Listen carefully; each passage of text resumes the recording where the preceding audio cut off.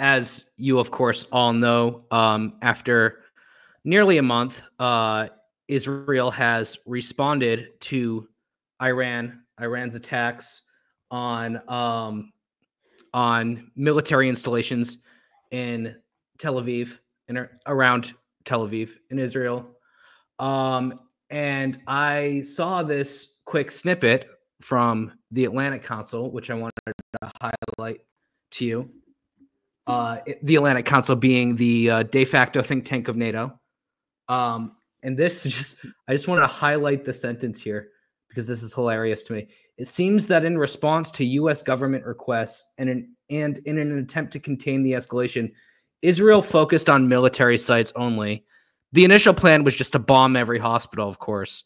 Um, yes. Presumably, uh, they heard there's gold underneath, so you know. um, but uh, yeah, no, I mean, I think that's uh, very illustrative of uh, the Israeli style of warfare. Is just like going for mm-hmm. civilian infrastructure. I think there were there were rumors for a long time that um, the uh, Iranian oil facilities would be the primary target. Um, a uh, a senior. This is via the BBC. A senior U.S. administration official had said that uh, the U.S. had worked to encourage quote targeted and proportional response. The extent of the attacks and the damage caused remains unclear at this stage. The IDF said it hit around 20 targets, including missile manufacturing facilities, surface to air missiles, and other military sites. The Iranian military confirmed that four soldiers had died while two, uh, two quote, while batting, battling projectiles. Iranian authorities said sites in Tehran, Khuzestan, and Ilam, forgive me if I'm butchering those pronunciations, were, were targeted. The country's air defense said that it had successfully intercepted attacks, but that some areas sustained limited damage. BBC Verify has identified damage at defense ministry base at a defense ministry base to the east of Tehran and an air defense base to the south. So that's via the BBC. Um, it seems to me that the uh, the response was uh, quite limited, um, mm. given what we've come to expect from Israel. I mean, um, their their unprovoked responses, uh, you know, just wipe out areas, cause mass mass yeah. casualties. Um, so so this uh, this was um, I don't want to say measured, uh, but I think that they there was some measuring. No, I think there was some measuring that happened because uh, obviously this was a situation which could have easily uh, gotten out of hand, and I think that um, in many ways this attack shows cowardness, right? Uh, cowardice, uh, because they know they cannot win a war against Iran, Ansarallah, against Hezbollah, against Syria, et cetera, et cetera. So, and and and I'm guessing the, that the U.S. probably said we will not back you up, um, and so that's mm. why this was so limited. That's that's my opinion. I don't know if you have any any kind of thoughts on that. Yeah, sure. So, I mean, I think that like that basically that actually, I mean, as we've discussed on the show before, that that when uh, Iran carried out its October first strike, which was like pretty spectacular, and there are all these, there's all this footage, including footage shot by our our dear friend um, and and collaborator Jer- uh, Jeremy Loffredo, um, who spent the best part of a week in an Israeli dungeon um, for his fearless investigative reporting. Yeah, the the the, the, the Iran um, on October first struck uh, Israel like pretty severely, and they did so without any pushback from Israel's much vaunted uh, air defense and missile defense systems, um, and they have made clear that um, further retaliations would lead to even worse um, uh, strikes um, upon Israel. Um, there was a lot of hype. I I got um, attacked by a lot of um, Zionists on on Twitter. Such is what they what they do, um, warning me that well that you know there's a major Israeli attacking coming. Um, there there were some astonishing tweets like collated from in Hebrew um, posted by hardcore Zionists who were bemoaning how pathetic this uh, quote unquote response was from uh, uh, from uh, Israel. Um, I think this is the extent of what they could pull off without leading to a wider war. And given how modest it was, um, this should this should tell us something about like the limits of Israeli power, military power, um, um, in the here and now. Um, that, that, that, that, they knew that if they, um, I mean, to the extent they even could, um, uh, respond in a in a very very very aggressive way, that this would lead to all-out war, which uh, Iran was likely to win. We discussed on previous active measure shows. There are official reports published by Zionist think tanks and um, uh, you know major um, uh, centers of imperial power, imperial fora, we, we, we might call them, which effectively state that well, okay, so the US is not prepared for war with Iran. Um, I think that's where the US pushback comes from. They know that um, if if Israel, again, in the event they even could, which is doubtful, um, stage something like really significant and seismic, that the Islamic Republic would respond um, far more brutally and devastatingly. Um, so, uh, I mean, some of the some of the cope on this initially was quite interesting, with suggestions that Israel attacked lightly in order to um, give Iran um, the leeway to claim that nothing had happened. Um, so, I mean, it does beg the question of why would you respond at all? But I mean, I think that the, the I mean, the answer to that, um, in real terms, from Israel's perspective, is they needed to do something because they'd hyped up a counter yeah. response to such a degree that if they didn't do anything, that that might um, be fatal to to their perception of power. Although I don't think that that perception is there anymore anyway. You know, like, like I mean, yeah. I, I think this is this is the extent of what they could do. It was extremely, uh, it was it was piss poor actually, um, uh, as far as responses go. It was, as I say, it was dunked on by Zionists themselves. Um, and I also think that I mean I've included this in the show notes, Alex, that like there were it was quite it seemed quite clear to me at least that the, there were people within the power structure who were trying to diminish um, uh, in advance expectations for what might happen. Now, um, you have up on up on screen a tweet from someone. Um, it's it, it's from a, one of those those, those OSINT accounts um, stating that an Israeli MP says a leak of um, sensitive U.S. documents, which pointed to the nature of the U.S. response to Israel, um, uh, meant that uh, Israel couldn't attack Iran, and this was deliberate. Um, I think the leak was deliberate. I think this is targeted. Um, I think that the documents are put out there to give the Zionist entity an excuse for why they couldn't savagely attack Iran, when the reality is that they literally can't. They can't do it uh, because of the gravity of the situation in the Middle East. Yeah. Um, and this, of course, uh, comes with much dismay for the media class. There's this great article by Greg Shupak in Fairness and Accuracy in Reporting. It's a mm. wonderful resource for um, de- debunking the mainstream media and their their narratives on foreign policy. I suggest everyone follows this, this publication. Um, but there's a number. What this article does is it it showcases some of the quotes uh, that were published as guest essays or as op eds or even op eds by the, for example, the Wall Street editorial board, um, which were basically unanimous in calling for Israel to retaliate by attacking Iranian uh, Iran's nuclear program. So mm. I'm just going to leave the uh, display where it is, but I'll I'll read some of these highlights again from from Fair, um, Gregory Shupak. Um, this is Bret Stephens in the New York Times in an article entitled "Actually, we absolutely do need to escalate in Iran." And this is the quote: "There needs to be a direct and unmistakable American response." Iran currently produces many of its missiles at the Isfahan military co- uh, missile complex. At a min- minimum, Biden sh- should order it destroyed as a direct and portion- proportionate response to its aggression. There is a uranium enrichment site near Isfahan as well, or two. Um, the Wall Street Journal editorial board wrote that Iran's October 1 operation against Israel, quote, warrants a response targeting Iran's military and nuclear assets.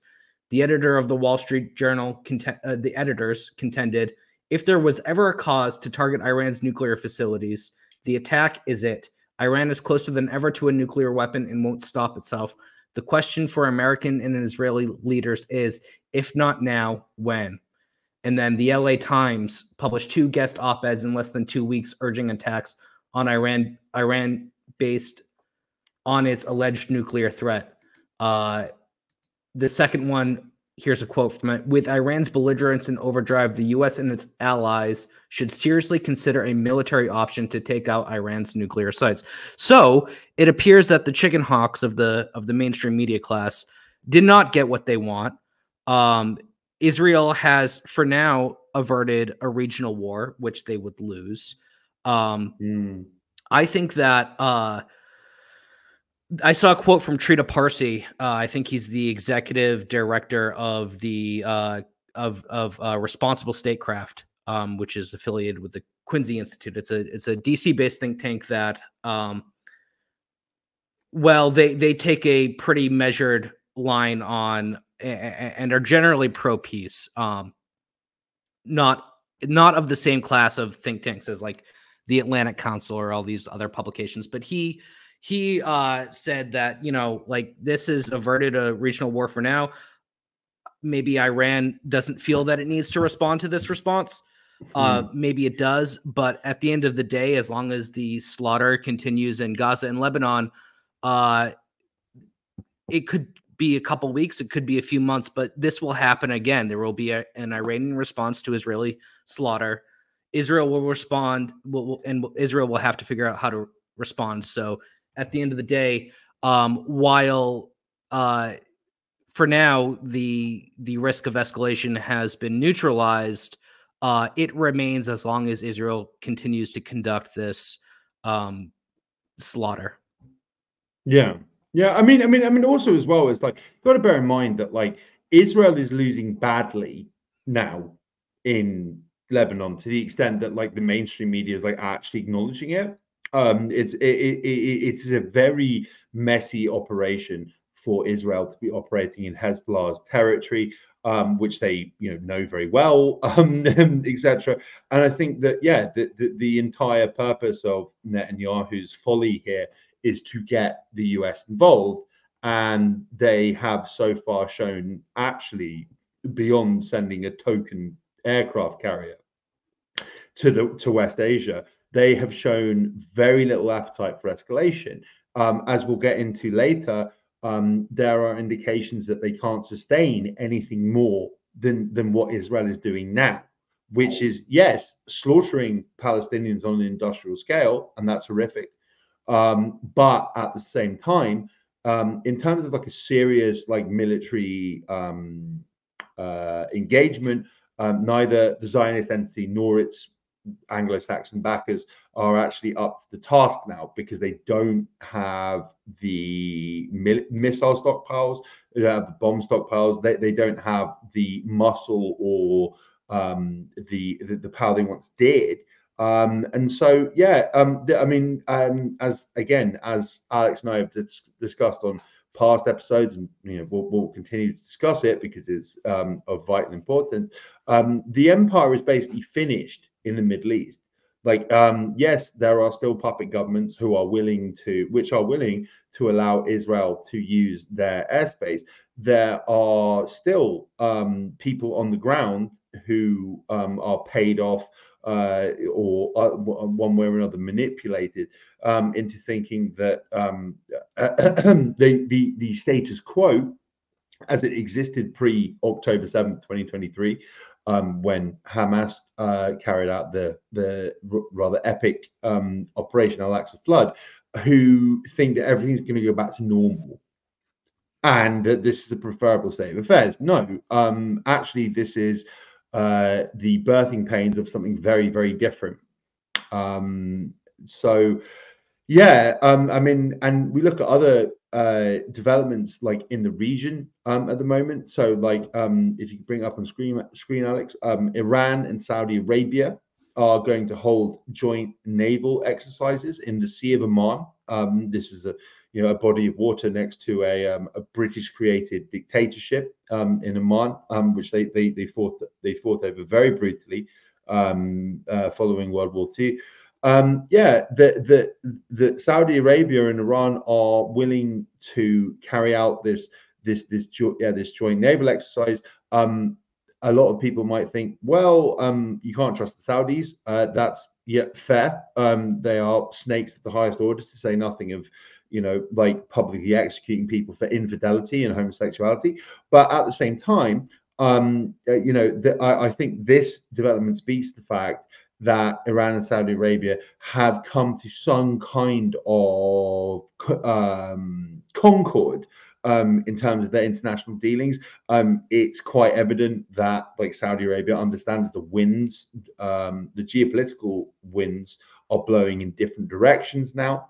Um, that uh, uh, you know, yeah, like I mean, I spent most of my my years in journalism, like initially, writing about effectively the Iran Saudi Arabia regional proxy war, whether that's in Yemen, where um, and the, the Iranian-backed Ansarallah like withstood a almost 10 year genocidal battering from US and British uh, equipped, trained, armed uh, uh, fighter jets that were like raining down death and destruction from them on far. Um, that, that yeah, the, I mean, this was Im- unimaginable um, two years ago, a year yeah. ago, six months ago. Like, this is hugely significant. Like, the fact that it's happening at all is highly representative. And um, the fact that that equally this is getting zero like mainstream media coverage should tell us that like actually the CIA, which dictates the overwhelming majority of the mainstream media's coverage of issues, has no real response to this. Yeah, well, I remember uh, the surprise that relations had been normalized. This was yes. not normalized, but uh, eased um, between Iran and Saudi Arabia. And uh, the CIA director at the time took an emergency trip to Riyadh to to try to quash it. Um, this was a this was an agreement which was brokered in secret by China, which was a uh, major. It, it was a watershed moment in terms of Chinese international uh, diplomacy um, and the Chinese's ability to uh, to to to be a mediator. Um, I don't think that we'd ever really seen anything like that before. Um, right. And you know, yeah, I I don't think you or I were raised in an era where uh, anti-war people or uh, enlightened people, progressive people, uh, had any love for Saudi Arabia. Um, mm. I'm not suggesting that the kingdom has fundamentally changed, um, but let me twiddle my mustache for a bit and just use the word realpolitik, you know, um, because that's really what's what's going on here. And um, it is a net positive. So one excerpt from this article that I want to highlight is uh, Saudi Arabia, which has helped Israel fend off Iran's barrage in April, sealed off its airspace as a route for Israel's response, according to three Gulf sources cited by Reuters. So they blocked Iran's attacks on Israel, but then also refused to allow Israel to use its airspace to respond. Um, yeah. An Iranian official told the agency that Tehran had warned Saudi Arabia it could not guarantee the safety of Saudi oil facilities if Israel goes through with a reported plan to strike oil facilities in Iran. Um, so that seems to be, uh, I, I, think that um, leaders want uh, stability and economic prosperity because that's their ticket to staying in leadership positions, right? If if if the if the economy is good, there's no there's very little upheaval, social upheaval, um, and you basically get to stay in power for however long you want. Um, and so yeah, you're you hit the nail on the head that uh, Saudi sees Saudi Arabia sees which way the wind is blowing and has decided to um, to make a, make peace with Iran, to work with China, to work with all these allies of uh, Washington, which has traditionally been uh, really its only ally. Um, Hmm. Yeah, I mean, I, th- I think as well. I think as well that like, I mean, this this this cuts back many decades to when um, on the deck of a um, uh, Saudi oil freighter, uh, FDR Frank, Franklin Delano Roosevelt, the U.S. president at the time, cut a deal with um, the he- the head of Saudi Arabia. Um, where they, I mean, they smoked cigars together, and they they talked about how the U.S. would always um, uh, provide security support and backing to the House of Saud. Um, like, and then you know the the, the US has made um, since the genocide in Gaza began has made um, or attempted to make um, recognition of Israel um, uh, a central component of their continued backing for um for Riyadh for like for the like the House of Saud. Um and uh, the, the the mere fact that the that Saudi Arabia would engage in this um joint naval exercise with Iran suggests that yeah that they they kind of at the very least they understand that there is a risk of the US empire not being the only game in town. Um I would suggest it, it goes a lot deeper that the the the, the that Riyadh understands that well we're in a multipolar world now and um actually uh the yeah the, the, it, it is a better bet to side with the resistance because there is a high likelihood the resistance will win. Again alex and i have discussed this on previous shows. Um the the, the balance in power in west asia has shifted irrevocably. The us does not have the wealth or the muscle to maintain um, its current positioning um, in West Asia. And its current positioning is also extremely bad because it is a bunch of military bases dotted around um, the region where Iran could strike very easily, overwhelm the air, defenses, um, you know, destroy the, the US fighter aircraft stationed there, um, and destroy the bases themselves. And there's not really very much the US can do about it and be, because of their positioning, like you know, because they're trying to contain Iran, so it's like all around it, it, all of these bases are like dotted around Iran. Well, that's that's five minutes for the US to launch a strike against uh, the Islamic Republic. It's also five minutes for Iran to respond, and they have the drones and the missiles and um, the uh, uh, like ballistic capabilities, the hypersonic capabilities to do that. Um, Yeah. and and and I think that, that yeah, there is a constant misreading here because in April, um, Iran struck Israel in what was meant to be a kind of illustrative um, effort. It was the, the the purpose wasn't to uh, carry carry out like you know mass civilian casualties or just destroy like tons of resources on the ground in Tel Aviv. It was to show the Zionist entity and their Western backers if we really wanted to, we could cut through all of this and destroy your country. Um, and the yeah, the, the fact that there wasn't like scores of dead children, I think, perhaps acted as a kind of um, it, it, the Zionist entity didn't really take it seriously as a result.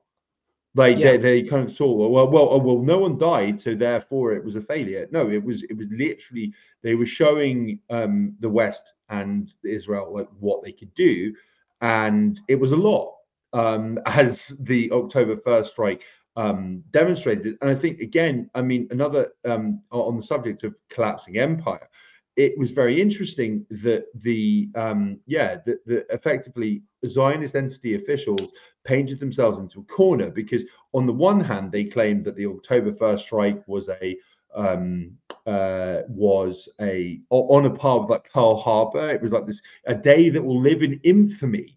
But then also it was just an expensive fireworks display that achieved nothing. It's like no, like like they they pounded airfields from which flights, which are part the core component of the the genocide in Gaza, um, uh, uh, uh, uh, uh, flew from, um, and yeah, like like they, they they they flattened all of that, and then again, it's just like, well, I mean, if you want to escalate further, we're going to escalate further, and it's a lot worse than we can do, and I don't think that Iran would have done that without a certainty that well, either they won't escalate very seriously, or if they do, this will lead to a war that will win. You know, they are Right. very cautious. They are very cautious. Well, he- here's here's the problem for Israel. I, in my view, um, Hmm. in my unprofessional military analyst view, uh, Israel has at the moment air superiority. They fail when it comes to ground to the ground. They cannot win a war against the army of Hezbollah. Um, Right. So they have to rely on their air superiority. What happens when these $200 Shahed drones, which we heard about so much in the context of Ukraine, make their way to Hezbollah? Well, it's hard to argue that Israel has air superiority at that point. Um, Mm. so, you know, maybe the Iron Dome can intercept, you know, 30% of the missile shot at Tel Aviv, but you know, all these drones were they were they to come, uh, it would be much less effective, I think. So there is a great deal of trepidation, um, I imagine, happening by Israeli war policymakers. Um, the other thing I'd like to say about Saudi Arabia is that uh, you know it would be extremely beneficial for them economically to normalize relations with Israel, uh, which they seem to be doing, uh, you know, on the verge of doing prior to October seventh of last year. Um, now they have ki- made uh, Palestinian statehood contingent on normalizing relations with Israel. Mm. Uh, this this should not be overlooked as a major, um, because Israel obviously needs. It cannot be completely isolated from everything. From I mean, Israel and Russia always had good relations. That's souring. Israel and Mm. Saudi Arabia were working were working things out. That that that's that's souring.